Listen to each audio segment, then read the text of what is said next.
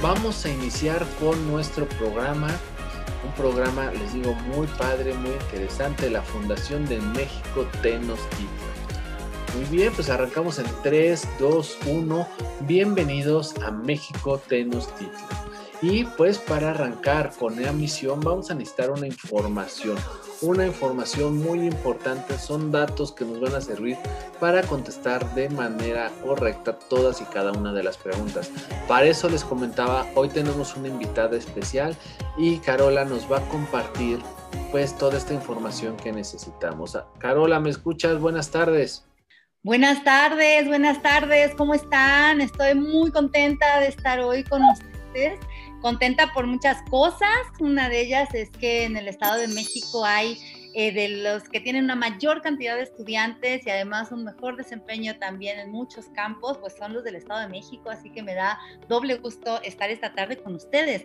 Y más para hablar de un tema que me parece que tiene eh, un montón de puntas apasionantes. Les voy a contar un poquito sobre la Fundación de México Tenochtitlan y por qué me apasiona tanto. Fíjense, la historia de la hoy Ciudad de México, antes México Tenochtitlan o México Tenochtitlán, les pueden decir de las dos maneras, Tenochtitlan o Tenochtitlán, eh, tiene origen en un mito, es decir, está basada en una historia mitológica como la de muchos otros pueblos originarios americanos. Para empezar, vamos a ver qué quiere decir el nombre. A ver, ¿alguna vez se han preguntado o saben, a lo mejor alguno de ustedes sabe, qué quiere decir el nombre de México, ¿no? O de dónde viene o qué, palabras lo conforman. Y bueno, pues aquí les cuento que México viene de Me-Chi-Co. Me es de Mesli, luna, y Chi quiere decir ombligo y Co quiere decir lugar, o sea, en el ombligo de la luna. Tenochtitlán es te, piedra, Noch, tuna y Titlán, lugar, y significa lugar de Tenoch o lugar de tuna de piedra. Bueno, pues ahora quisiera compartirles eh, un material que preparé para ustedes, que es una presentación en PowerPoint em, donde vamos a poder ir siguiendo algunos de los pasos más importantes de la leyenda. Solo les voy a mostrar un par de láminas y vamos a mirar un video. Pero lo importante es que le sigamos la pista. ¿Dónde empieza todo? La historia empieza en un lugar llamado Aztlán. Aztlán quiere decir lugar de garzas blancas, lugar de blancura. Específicamente en Chicomostoc, que es lugar de las siete cuevas. Cuéntenlas si pueden verlo en la lámina. ¿Cuántas cuevas pueden contar? ¿Si son siete? ¿Verdad? Esta es una imagen de un códice, de un códice que cuenta cómo fue esta peregrinación. Bueno, ¿dónde está Aztlán? No conocemos aún la localización exacta. Se cree que estaba en lo que hoy es el estado de Nayarit, pero sigue siendo un misterio. Y fue el dios colibrí, Huitzilopochtli, quien dio la orden de salir en peregrinación. Huitzilopochtli era el dios colibrí era el dios colibrí del sol y de la guerra.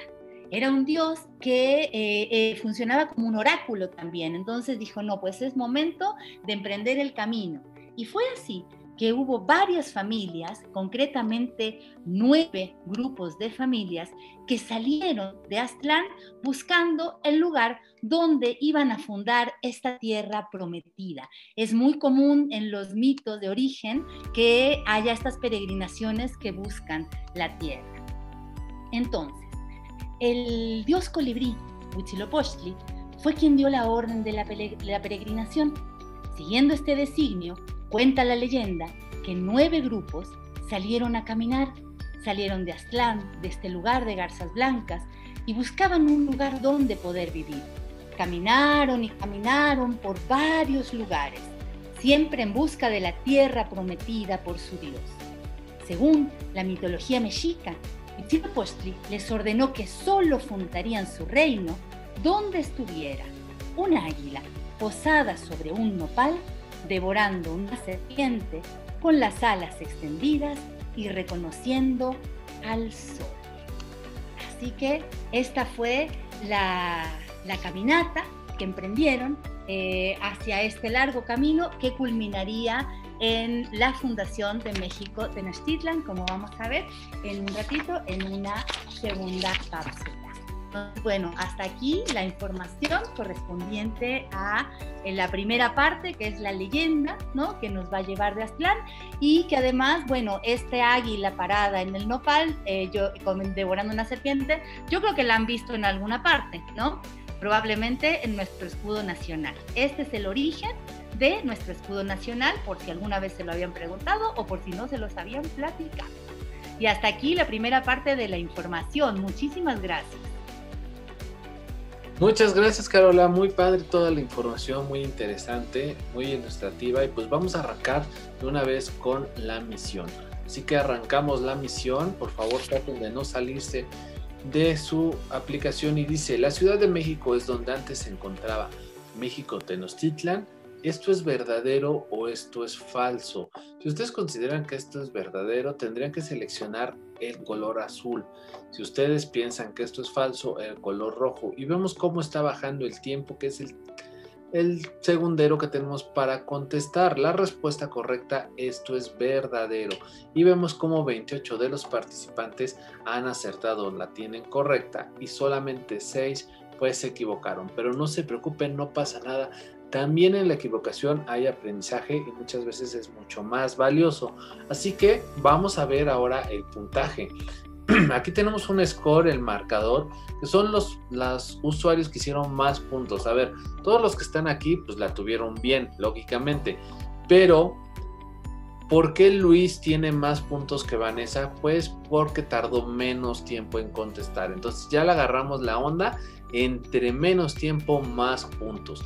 Está difícil, imagínense, tenerla bien primero y hacerlo en el menor tiempo posible, pues es complicado, pero yo sé que ustedes pueden y cada vez se va a poner más interesante esto. Así que, siguiente pregunta. Significado de México. México significa en el corazón del mar o ombligo de la luna, en el centro del lago o en la montaña más alta. ¿Cuál es el significado de México? Recordemos que Carola nos compartió esta información, que aparte es algo bien importante que como mexicanos pues sepamos qué significa nuestro país, el nombre de nuestro país y la respuesta correcta es en el ombligo de la luna. Muy bien, vemos cómo se mueve esa tabla de posiciones y eso va a estar pasando todo el programa. Siguiente pregunta, Tenochtitlan significa la casa del sol naciente. ¿Esto es verdadero o esto es falso?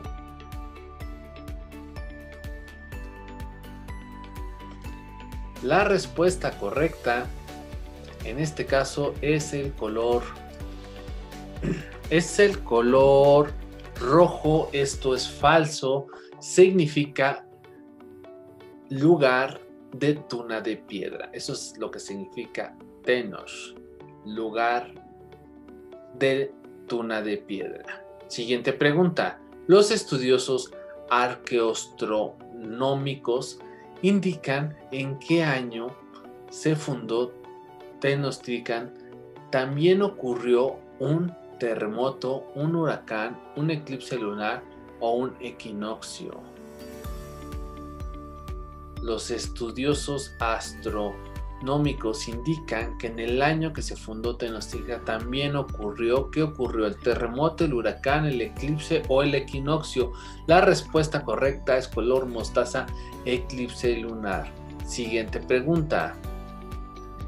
Lugar donde comienza la historia de los mexicas para encontrar Tenochtitlan, en Tula, en Teotihuacán, en el monte de Albán o en Aztlán.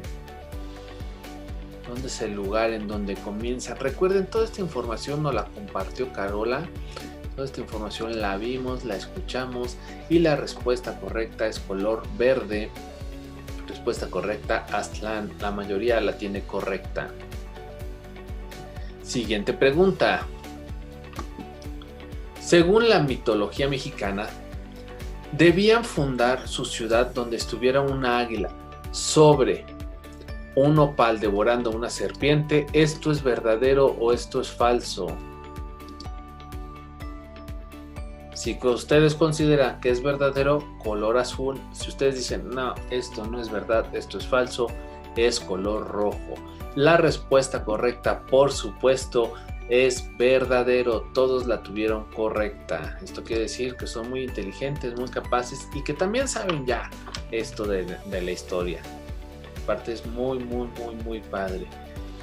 Siguiente pregunta. Cuenta la leyenda que el dios Huitzilopochtli traicionó a su hermana abandonándola en lo que hoy es Metepec, Malinalco, Cuautitlán o Ecatepec.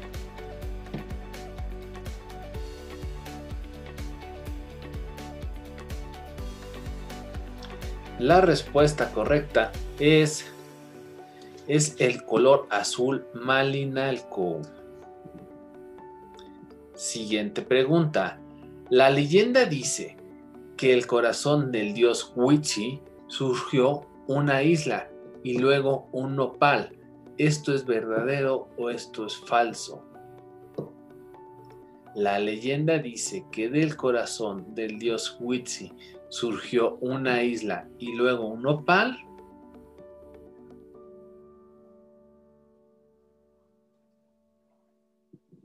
La respuesta es falso fue del corazón de Copil, el hijo de Malinali. Siguiente pregunta. Nombre del lago donde los aztecas encontraron por fin su ciudad. Este lago se llama el lago de Tenango, de Tolaltongo, el lago de Texcoco o el lago de Temoaya. ¿Cuál es el nombre de este lago? donde por fin los aztecas encontraron su ciudad? La respuesta correcta es el color mostaza. Respuesta correcta, Texcoco.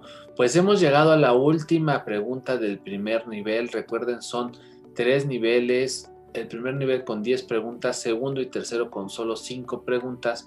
Y esta pregunta te da puntos dobles, así que pongan mucha atención porque se pueden llevar puntos dobles.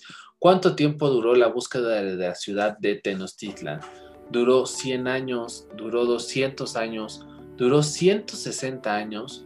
¿O 260 años?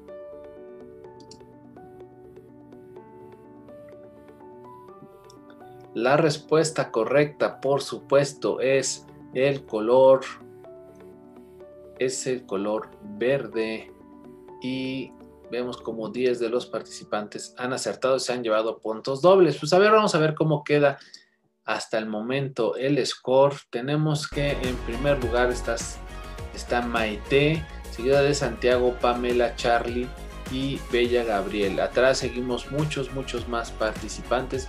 Pues muy bien, hasta el momento esto es el primer nivel. Vamos a pasar al segundo nivel y al tercero, pero pues ya saben, necesitamos información, necesitamos las cápsulas informativas. Así que Carola nos va a presentar la segunda cápsula informativa.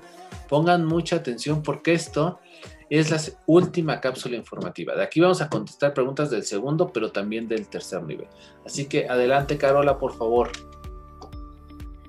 Hola, hola. Bueno, pues continuamos entonces con lo que nos cuenta la leyenda. Algunas ya están adelantadas aquí en lo que se acaba de preguntar y vámonos a retomar un poquito de la leyenda y a seguir más adelante para ver cómo fue que se desarrolló esta ciudad de México Tenochtitlan en sus inicios.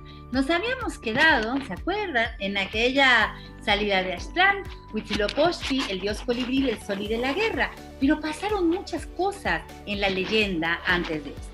Resulta que se acuerdan que durante este largo camino los guiaban el dios Huitzilopochtli, pero no nada más él. También venían acompañando su hermana, su hermana que se llamaba Malinalxochitl a lo mejor reconocen esta segunda parte de la palabra. Malinal Xochitl es la flor de Malinal.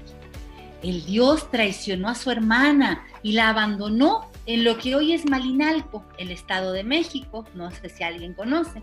Entonces, Popil, el hijo de Malinali, buscó venganza contra su tío Huitzilopochtli, pero fracasó.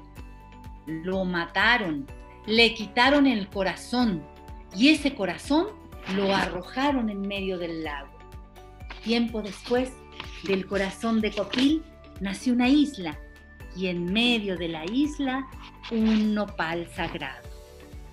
Finalmente, los aztecas encontraron el sitio indicado en algún lugar del lago de Texcoco y ahí fundaron su ciudad. La isla se encontraba en donde hoy está el centro de la Ciudad de México. No sé si han ido alguna vez al Zócalo, pues ahí, a un ladito, lo encontraron. Esta peregrinación, como ustedes ya lo vieron, duró 260 años. O sea, que caminaron muchísimo hasta poder encontrar el lugar deseado. Seguramente que en el trayecto nacieron y murieron varias generaciones. Recordemos que la ciudad estaba sobre un gran lago, rico en recursos naturales que los pueblos de la ribera aprovechaban. Fíjense, fíjense algunas de las cosas que había eh, para compartir, para vivir, para subsistir en una ciudad que es un lago. Resulta que los mexicas surtían su ciudad con una agricultura muy intensiva. Además del cultivo en tierra firme, inventaron el chinampas, que son cultivos flotantes. Fíjense que todavía hoy en Xochimilco se sigue usando este método tradicional. Claro que también se aprovechaban los animales y las plantas de la orilla, había peces, aves, ajolotes, ranas, acosiles, insectos, larvas, algas, conejos, venados, garzas. ¿Han comido algo de eso alguna vez? ¿Alguien le ha tocado comer venado, comer chapulines, comer escamoles, ranas, peces? Tal vez sí. Bueno, total, la capital de los mexicas se convirtió en una de las mayores ciudades de su época en todo el mundo y fue la cabeza de un poderoso estado que dominó gran parte de Mesoamérica. Imagínense que llegó a ser la ciudad más grande que existía a la llegada de los españoles. Pero bueno, esto también tiene otra parte de la historia. Resulta que esto se logró de una manera mm, un poco complicada.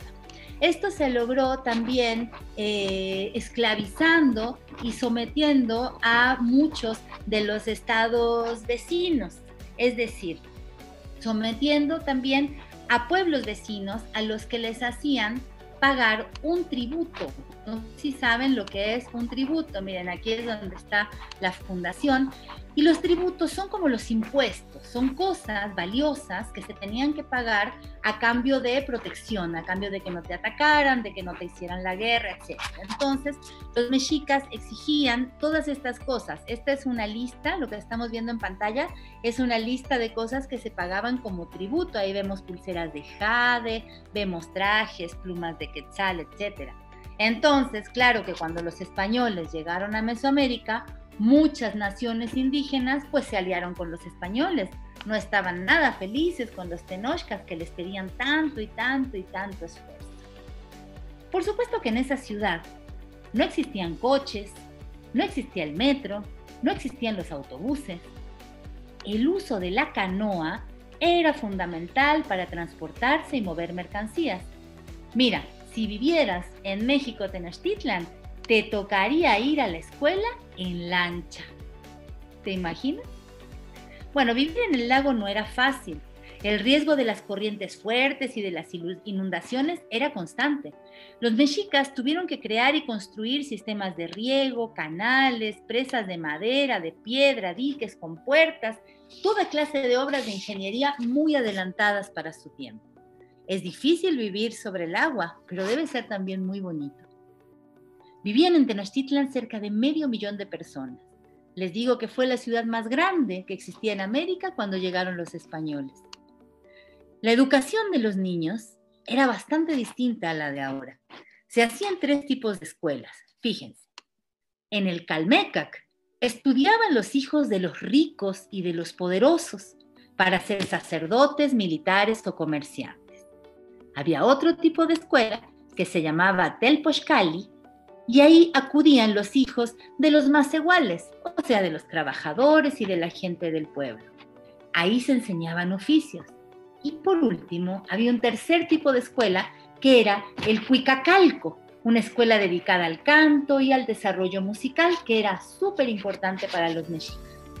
La educación era dura y estricta. Había muchos castigos físicos y humillaciones para guardar la disciplina. A los niños rebeldes se les pegaba duro cada vez que mostraban desobediencia. Ante las actitudes negativas de los jovencitos, los padres los picaban dolorosamente con espinas de maguey. También los casi ahogaban con el humo de chiles quemados.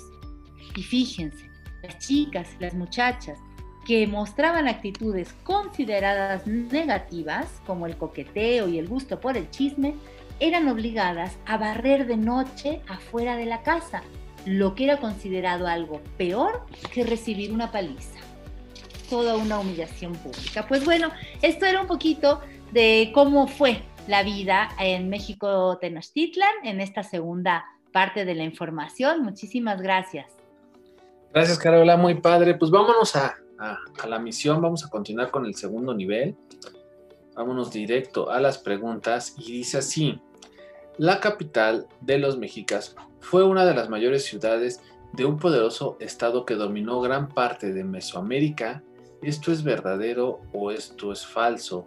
Recuerden, si es verdadero es color azul. Si ustedes consideran que esto es falso es color rojo. Ahí está el tiempo terminándose. Entre menos tiempo, más puntos van a generar. Y la respuesta correcta, por supuesto, es color azul. Esto es verdadero. La mayoría la tuvo correcta. Siguiente pregunta sistema de cultivo flotante que inventaron los mexicas, las chinampas, las chalupas, los diques o los metates. Sistema de cultivo flotante. La respuesta correcta es, por supuesto, el color, es el color rojo. La respuesta correcta son chinampas. Siguiente pregunta. ¿Es uno de los animales que se encontraban cerca del lago de Tenochtitlan? Los cocodrilos, los borregos, los acosiles o las cabras. Ahí, Carola, recuerdo que hablabas un poco de pues la alimentación que tenían. y a mí se me hizo agua a la boca. Mencionabas algunos platillos pues ancestrales mexicanos la respuesta correcta es color mostaza acosiles. Siguiente pregunta. ¿Era el principal transporte de la ciudad de Tenochtitlan? El caballo, las carretas, la canoa o caminar. ¿Cuál era el principal transporte de la ciudad de Tenochtitlan? Y la respuesta correcta por supuesto, color azul es la canoa. Veo como prácticamente todos los participantes tienen todas las preguntas correctas. Eso está muy bien porque se ve que le están entendiendo que les gusta el tema.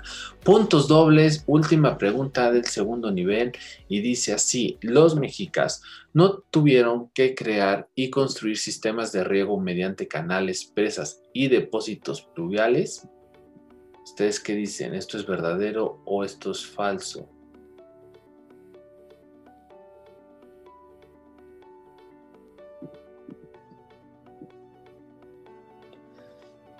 No tuvieron que crear ni construir sistemas de riego. La respuesta, fíjense qué interesante, esto es falso. Por vivir en un lago tuvieron que hacer estas obras de ingeniería muy adelantadas a su época. Pues vámonos al último nivel, así de rápido, vámonos al último nivel. Y dice así, ¿cuántas personas vivían en Tenochtitlan? Vivían cerca de 2 millones de personas, cerca de 7 millones, un millón de personas o cerca de medio millón. ¿Cuántas personas vivían en Tenochtitlan?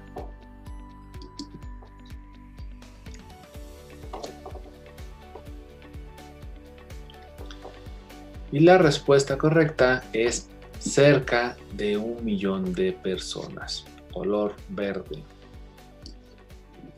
Esas están muy buenas estas preguntas. Y dice, tipo de escuela en el que estudiaban los hijos de ricos y poderosos, Calmecac, Necaltl, Coneltl o el Cuicalcao. Recuerden, esta escuela era solamente para los hijos de ricos y poderosos. La respuesta correcta es color rojo Calmecac. Siguiente pregunta. El Tepoztlali era la escuela donde acudían los hijos de, los hijos de los reyes, los hijos de los constructores, los hijos de los trabajadores y gente del pueblo o los sacerdotes. Tepoztlali. Ahí asistían la respuesta correcta, color mostaza, trabajadores y gente del pueblo. Estamos por terminar la misión y dice así, Quil Cacao, escuela dedicada al canto y a desarrollar la música, ¿esto es verdadero o esto es falso?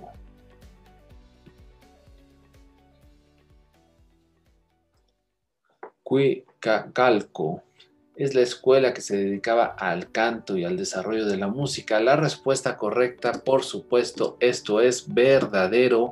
Y llegamos a la última pregunta. Con esto estamos terminando nuestra misión y dice, barrer de noche fuera de la casa se consideraba un castigo peor que recibir una paliza. Esto es verdadero, es o esto es falso. Ahí todos la van a tener bien, porque aparte es algo bien, bien interesante, bien padre. Y pues fue con lo que se agarró de alguna manera Carola, fue su última intervención donde nos platicaba que esto les pasaba a algunas, un castigo que les pasaba a algunas mujeres. La respuesta correcta, por supuesto, esto es verdadero. Pues muy bien, hemos terminado la misión, hemos completado todas y cada una de las preguntas, los tres niveles. Y Carola, por favor, platícanos de toda esta información que vimos, todo lo que nos contaste, que fue muy, muy padre, pero también muchísima información. ¿Cuáles son los aprendizajes más importantes, más esenciales que nos tenemos que llevar? Bueno, Marco, mira, yo pienso que nos podemos ir con tres eh, grandes aprendizajes. Primero, conocimos el mito de la fundación todo lo del nopal, la serpiente, aunque tal vez lo conocían, a lo mejor la parte del corazón de Copil no tanto, esa no es tan popular. Entonces nos vamos con nuestro mito de fundación aprendido. Otro aprendizaje importante es tomar conciencia de qué importante fue la ciudad de Tenochtitlán, fue la más importante casi del mundo en su tiempo y eso es un pasado nuestro que debemos atesorarlo. Tuvimos una de las ciudades más grandes y más importantes.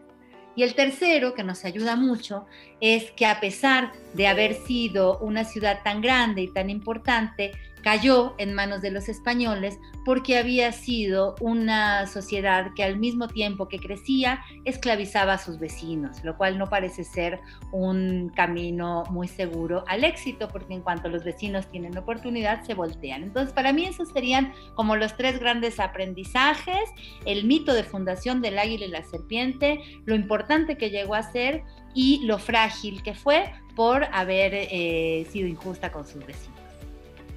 Muchas gracias, Carola. Pues sí, eh, esencialmente, con que nos vamos con esa información, yo creo que cumplimos la misión. La verdad es que lo hicieron muy bien. Yo vi cómo los participantes, los estudiantes hicieron muchos puntos, vi sus caritas de nerviosismo, su sonrisa cuando tenían bien la pregunta. Me gustó mucho, yo la pasé muy bien. La verdad es que aquí todos somos ganadores, pero pues me gustaría conocer, a ver cómo quedó esta tabla, quiénes fueron los primeros lugares para ver quiénes ocupan este podio. Y tenemos en el tercer lugar a Charlie con 18 de 20 preguntas. Excelente Charlie. 19 de 20 a Santiago Reyes y también con 18 de 20. Menos que en segundo lugar, pero con más puntos está Maite. Pues muy bien, Maite, Santiago, Charlie. Muy bien, gracias por su esfuerzo, lo hicieron muy bien. Contestaron bien y contestaron rápido, que eso está muy difícil. Pero pues les repito, aquí todos somos ganadores, la verdad reconozco su esfuerzo, ganas, pero todos y cada uno de los que estuvieron aquí, pues merecen nuestro reconocimiento, nuestro aprecio por intentarlo, por el simple hecho de intentarlo, vale la pena pues agradecérselos y reconocérselos. Y Carola, pues te agradezco muchísimo, la verdad me encantó el programa, cómo nos cuentas esta historia, cómo nos haces recrear esos tiempos. Sin duda alguna, si yo pudiera escoger una época de la historia donde me hubiera gustado vivir en México, pues sería precisamente esa época me parece súper interesante. Y pues lo decía Carola, debemos de sentirnos orgullosos de nuestra historia, de nuestras raíces, porque fíjense, una de las ciudades más importantes a nivel Mesoamérica. Eso es bien, bien, bien padre, bien importante. Pues muchísimas gracias. Yo quiero abrir los micrófonos porque ahora yo ya hablé mucho, hice muchas preguntas, Carola también, pero queremos escuchar lo más importante de este programa, que son ustedes, los estudiantes. Así que de manera ordenada, si gustan, por favor, platicarnos qué les pareció el programa, si les gustó, qué se llevan. A ver, adelante, ¿quién me levanta la mano? Yo. Adelante. Por favor, te escuchamos. Para mí, mi experiencia en Cajú de aquí con ustedes, pues me gustó mucho. Me, lo del corazón yo no lo sabía y, pues me gustó recopilar lo, lo, que antes vi y aprender lo nuevo que no había visto. Pues es súper interesante. Muchas gracias. A ver, platícame, ¿qué te llevas del programa? Algo, alguna aprendizaje que dices, yo no sabía esto, hoy ya esto y es lo que me llevo. Yo no sabía los tres tipos como de escuela o los tres tipos de cosas que le enseñaban diferente antes a los mexicas. Y hay también lo del corazón de donde vino la isla donde estaba el águila, el nopal y la serpiente, eso yo no sabía que venía del corazón de ese dios, yo no lo sabía. Perfecto, muy bien. Oye, qué padre, qué padre, muchas gracias. A ver, ¿alguien más? ¿Quién más le gustaría platicar? Yo, yo. A ver, yo, yo, José Francisco. A ver, José Francisco, te escuchamos, por favor. Pues a mí me gustó también. Sí que me estresé porque, aunque aparecí solo una vez en la racha de mayor. Puntuaje solo aparecí una vez y pues me emocioné cuando aparecí, pero después me tardé en contestar. Estuvo divertido, a mí me gustó. Yo. Con eso quédate, con eso quédate, eso es más que importante. Muchas gracias. A ver, alguien me dijo, yo adelante, te escuchamos. Este, a mí mi opinión fue de que me divertí, aunque no quedé en primero, me divertí. Muy bien, te agradezco mucho. Oye, me gusta mucho este detallito de la verdad de que se pongan su uniforme, me fascina, me encanta. Ya muy pronto nos vamos a ver en la escuela. Eso es algo, una muy buena noticia y me gusta mucho de verdad porque es como que como que se visten para el aprendizaje. Eso, eso la verdad lo reconozco y, y qué padre, qué bonito ver. A ver, uno más, una partida. Yo, yo, Jennifer. A ver, Jennifer, te escuchamos, Jennifer. A mí me gustó mucho este aprendizaje porque venían muchas cosas que yo no sabía antes de esta de la historia de nuestro país y ya sí fue aprendiendo, pero al inicio yo me sentí muy nerviosa, desconfiaba de mis respuestas. Es normal, es normal. Y al final mejor, ¿no? Ya, ya al final ya ya estabas más, más tranquila y seguro lo hiciste bien. Qué bueno, muchas gracias. Vamos a dar una última intervención porque la verdad es que el tiempo no nos alcanza. Yo. Pero, a ver, adelante. Yo, Leonardo. Te escuchamos. Leonardo Guzmán Arellano. ¿Te escuchamos? Pues a mí me gustó porque me enseñó a responder más rápido. Muy bien. ¿Y algo con, con lo que te vayas? ¿Mande? ¿Algún aprendizaje que, nuevo, algo que con lo que tú te vayas del programa? Pues no sé, es que no entendí muy bien porque llegué tarde porque no me dejaban ingresar. Ok, no te preocupes. A ver, Saúl, Saúl me pidió la palabra desde hace rato, no se la he dado. Saúl, te escuchamos. A mí me gustó el programa porque había ciertas cosas que yo no había estudiado porque me emocionó también la parte de las preguntas cuando las estaba respondiendo a veces me ponía muy nervioso. Lo que más me gustó de aquí fue pues aprender los diferentes tipos de cosas que aprendimos de Tenochtitlan. Yo no sabía, por ejemplo, que había medio millón de personas viviendo ahí. Muy bien, gracias, te agradezco mucho. Tú estuviste en el medallero, ¿verdad, Saúl? ¿Mande? ¿Tú estuviste en el medallero? ¿Tú estuviste en los primeros lugares? No. ¿No? Ah, por ahí había un Saúl, entonces, este, otro usuario. No te preocupes. Ya. Agradezco mucho, muy padre. Fíjense, más y más quieren, quieren comentar, eso, eso a mí me agrada mucho. La verdad es algo muy padre, pero lamentablemente por el tiempo, pues no podemos escucharlos. Pero vamos a hacer una cosa, vamos a cerrar el programa y si quieren quedarse y platicar, yo me voy a quedar con ustedes. ¿Sale? ¿Les parece? Para los que ya se tengan que ir y retirar, pues estén en la libertad y quien quiera al final platicar conmigo, con Carola, con Jazz, pues adelante, nos quedamos, ¿sale? Pues vamos a finalizar el programa, les agradezco muchísimo, la verdad creo que valió la pena, pero sobre todo algo muy importante, creo que se cumplió la misión. Eso para mí es lo más, lo más significativo y lo más importante. Esto lo hacemos con muchísimo cariño, lo hacemos, la verdad, en un esfuerzo pues por estar con ustedes, escucharlos, verlos, lo más importante que tenemos que son nuestros estudiantes. Y pues en esta ocasión quiero agradecer a Carola por su participación, por apoyarnos con este programa. La verdad es que cada que ella participa, pues el nivel del programa es muy bueno y se ve pues en sus reacciones y en los comentarios de nuestros estudiantes. Muchísimas gracias. Antes de finalizar el programa, yo les quiero pedir un gran favor. Así como estamos, nos podemos tomar una foto todos juntos. Es una foto importante. Fíjense, todas y cada uno de los programas nos tomamos una foto, porque para mí cada programa es especial y el de hoy, pues me gustó mucho. Así que, ¿qué dicen? ¿Nos tomamos una foto? ¿Sí? Ok, vamos a tomarnos esta foto, pero vamos a tomar esta foto de una manera muy especial. Primero lo que necesitamos es, vamos a abrir los micrófonos, vamos a escucharlos, porque a la vez vamos a decir el grito de la misión. Y para eso vamos a hacer esta señal, que todos así con su mano, todos con la mano, todos con la mano, así. O puede ser así también, como ustedes quieran. Esto va en la frente, Ajá, y ya me platicaron de que venimos de diferentes partes del Estado de México, entonces yo quiero que esto se escuche fuerte en todo el Estado de México, no importa que salgan los vecinos a ver qué es lo que está que se enteren que se cumplió la misión, ¿sale? Entonces a la cuenta de tres bien fuerte vamos a decir misión cumplida. Vamos, una, dos, tres, misión, misión cumplida.